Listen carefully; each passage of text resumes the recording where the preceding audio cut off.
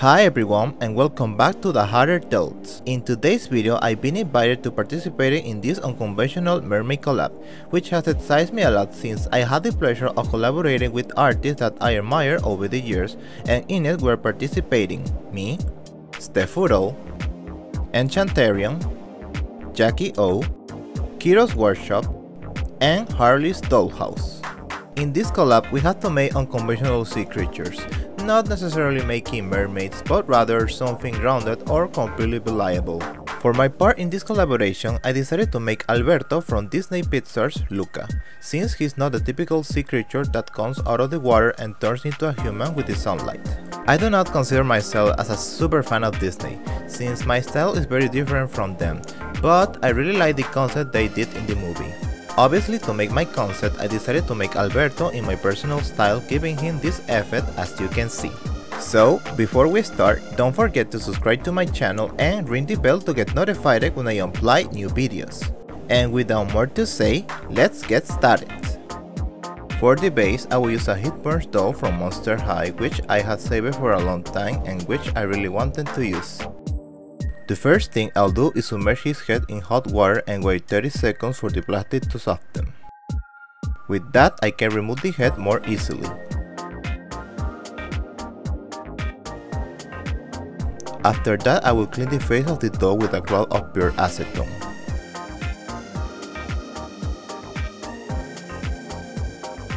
Being this way I will put the head aside since first I will start working with his body. With a hot saw I'm going to cut off his toes.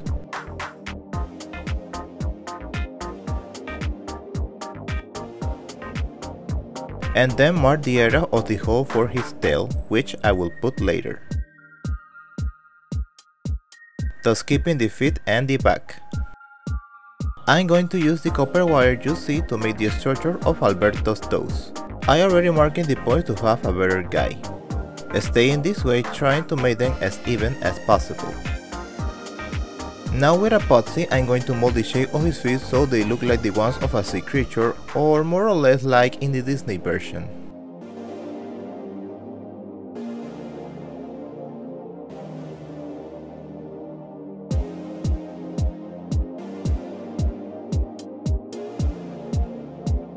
And this is how they turn it out having done them this way. They lengthen it a bit and can be folded without any problem. In the same way I will also make the rear fins which in my opinion they look very good and which I opened holes in the legs to be able to grab them. Off camera I also done the same with his right arm and with his hand. Achieving a modification like that was very difficult and more on how they was positioned, but in the end I did the best I could. In my concept, I want Alberto to look like a sea monster on one side, and on the other to show some part of his human side on top, that being the reason why I did not modify the left side of him. With the modifications ready, I will remove the fins to be able to sand the feet with a sandpaper.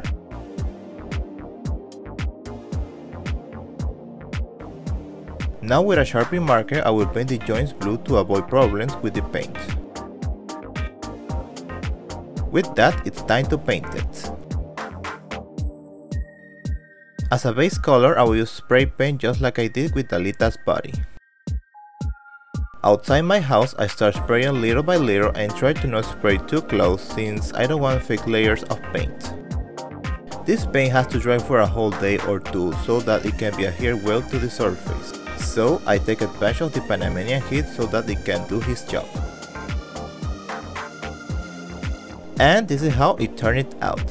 Thank god it hasn't rained because the weather in my country is very unpredictable and you never know if it will be rain or not.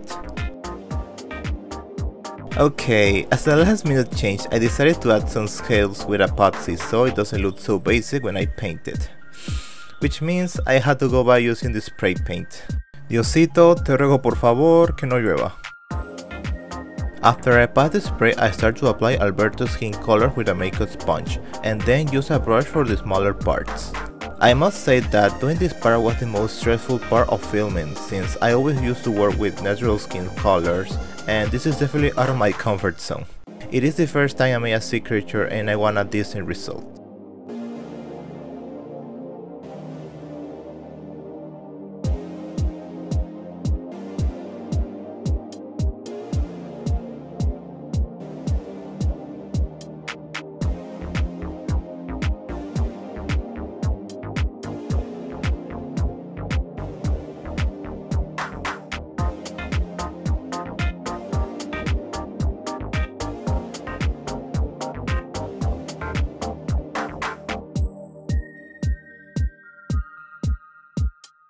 With this bright paint I will use it to bring out the purple colors of his skin and as a gradient effect in certain areas.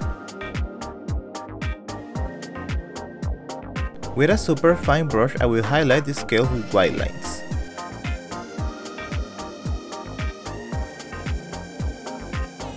Now as I draw in my concept, I will paint the human side of Alberto with several layers of color with his human skin tone trying to give a splatter effect.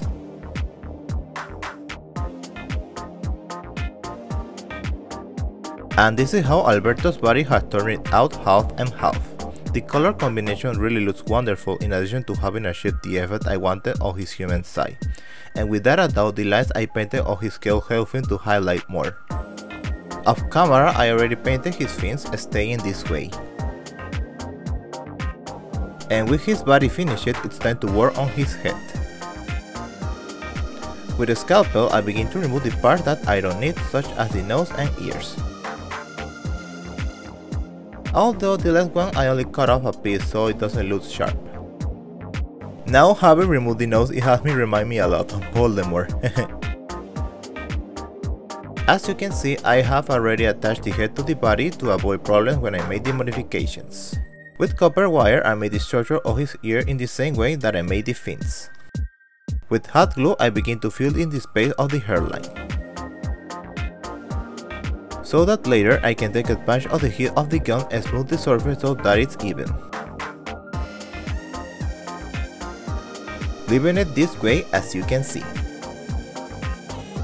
Up camera I already reinforcing everything, including Alberto's two ears being completely hard. In addition to that I also removed the doll lids. With that I start to make the facial modification with the help of my epoxy sculpt.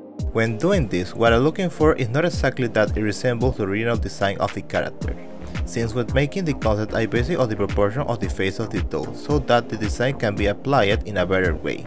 As I mentioned in past occasions, the concept helps me not to make mistakes when I'm working and likewise I avoid improvising.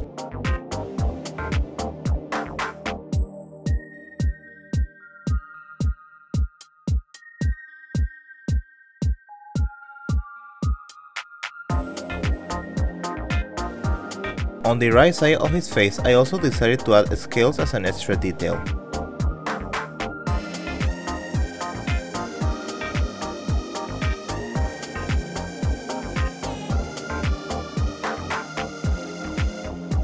And this is how it turned it out. Wow, this modification is without a doubt the most radical I've done so far. And with that, it's time for the repaint. Off camera, I already painted the entire area of the head just as I draw in my concept. And after having applied 3 layers of MSC, I begin to draw the lines of his eyes using two different colors from both sides. At first I thought that I would have problems with the face since I was afraid that the paint would leak due to the pressure when I passed the pencil. And in the end I was able to do it without any problem. I decided to draw Alberto's eye more in an anime style, since his original design would not be proportional to the doll's head. And I felt that doing them in that way gives the character another essence.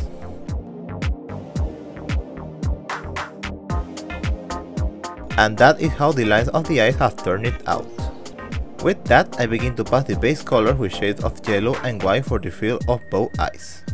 And then color them with a light green pencil for the pupils. With chalk pastel how we outline the right side of his face and thus touch up his ear and scales with darker shades of blue.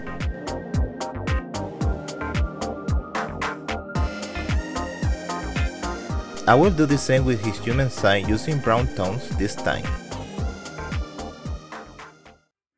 After another layer of spray, the colors are highlighted little by little. If you have seen the film, you will note that the shape of Alberto and Luca's pupils are different from those of their human side. And in the same way, I also draw the pupils of the doll.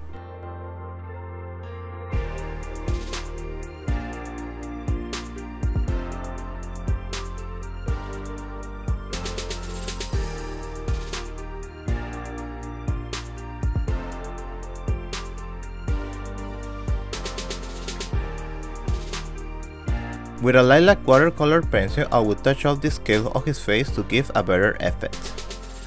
After that, I color his mouth.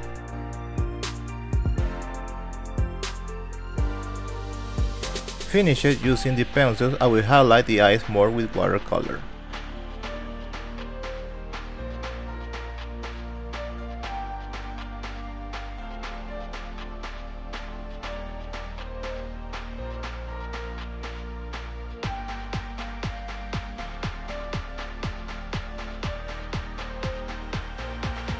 Alberto has freckles on his face and I'm going to apply them with different colors just like I did with the eyes.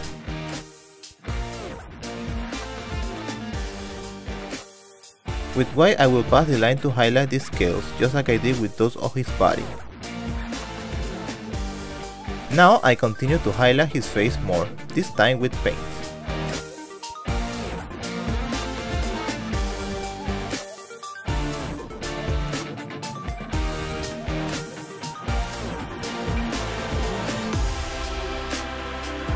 Here at this point I begin to experiment with metallic colors and doing it they give me a completely different result.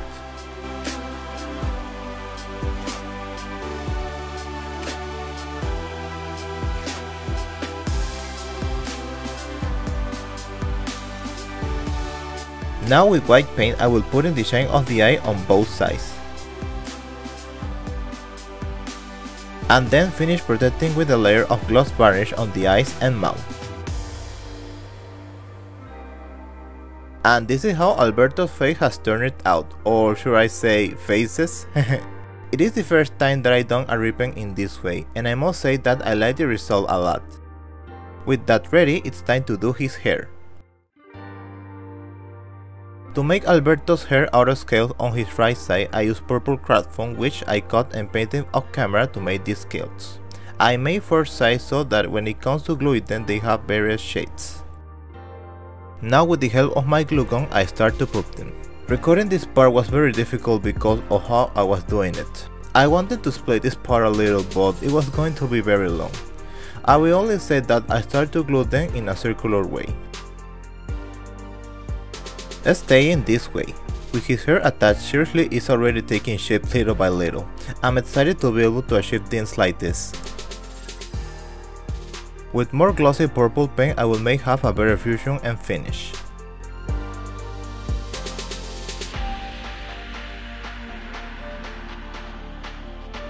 And with a few coats of varnish I will protect the paint of the scales. The human side I simply be gluing the yarn wets which I had not stretching it with the iron since I want a cooler and more natural look. The tool I use makes it fits in a better way.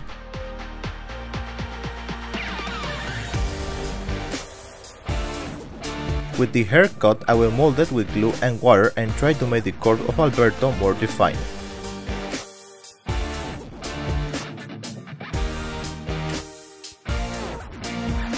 Staying this way.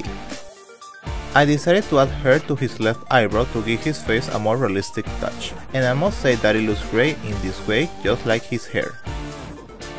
And with that, it's time to make the final details of the doll.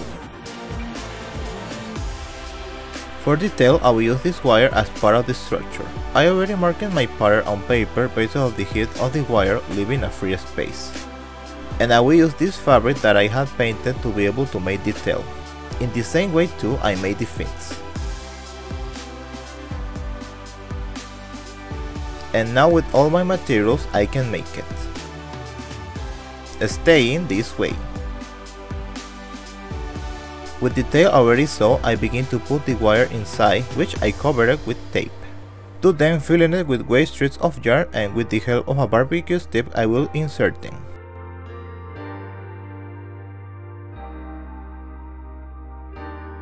Once filled, I will accommodate it and mold it a little with my fingers. And then pass white details to each scale of the tail.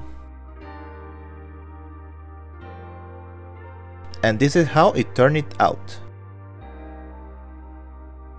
Off camera I already glued it directly to the body, staying this way. I have applied more paint so that it can be better combined with the body of the doll, and so that it has a better finish. Off camera I decided to also do Alberto's clothes since they are not much. They are just a sleeveless shirt and work pants which I painted by hand to give that effect. This is how they will look on the doll's body. I already got the strip that serves as a belt, and I sew the pants directly on the body so that they fit well to the tail.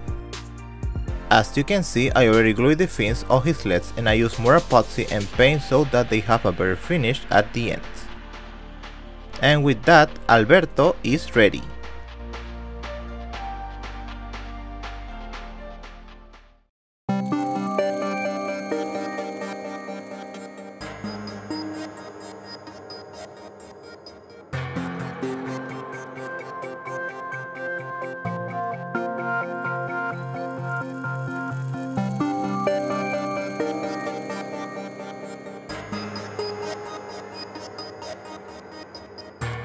I had said that I did not consider myself as a super fan of Disney, and I admit that getting out of my comfort zone with this dog was a challenge and a very big one.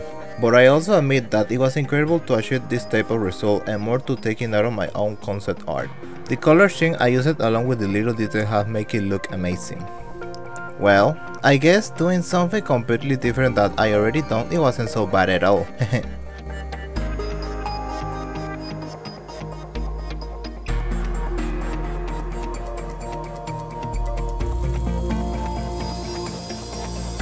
Thanks for watching this video. Like, comment, and subscribe to my channel for more content like this. You can also follow me on Instagram and TikTok as The Hatter Dolls. And of course, don't forget to watch the videos that all my doll friends made. They all made wonderful dolls and seeing this photo makes me very happy and excited to participate in this collab. All the links are in the description on this video so you can see one by one. So that's all for today guys. My name is Eric and I'll see you next time. Bye!